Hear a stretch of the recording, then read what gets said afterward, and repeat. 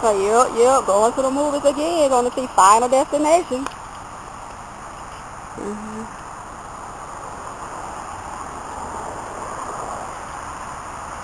I would see Fright Night too, but I want to see Karaoke Battle tonight.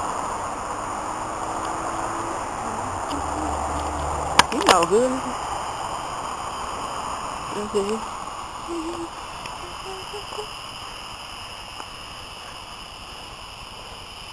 Look at this.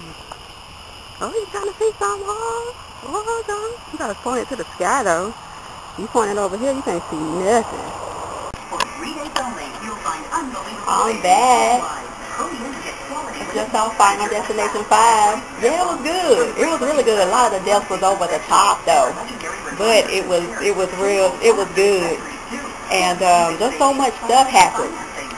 And, uh, well, the movie came out last week, so as if you already seen it, well, so you know everybody that died anyway, even though the thing was you had to, if you wanted to, to if you were supposed to die but didn't, you were supposed to kill someone else and take their life, and take their lifespan in order to survive. You know, if you play in a devil's game, of course you're going to die. You're still going to die anyway. Because if it just so happens, you really think you're going to meet up with somebody that's going to got a hundred more years on earth to live? I don't think so. It's going to be somebody who have a week left to live. You playing a devil's game. Thank God the final destination is not real life. Oh my God. Thank God. God is the, the God of life and death. Jesus defeated death, hell, and the grave. You ain't got to worry about all that. but it's just over the, I mean, over the top there. But some stuff was, a lot of it was unrealistic, like at the end with the plane. At the end, the plane all of a sudden just burst into flames, and pieces of the, of the plane the walls of the plane is gone and fall out and people falling out.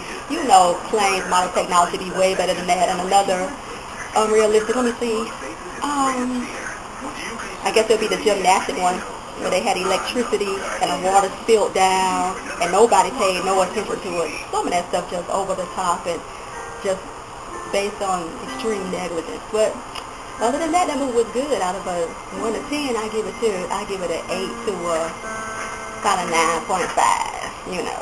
But it was really good. I wanted to see Fright Fest, but, I mean Fright Night, but uh, I got to watch karaoke battle. Gotta, gotta see that. Gotta see that.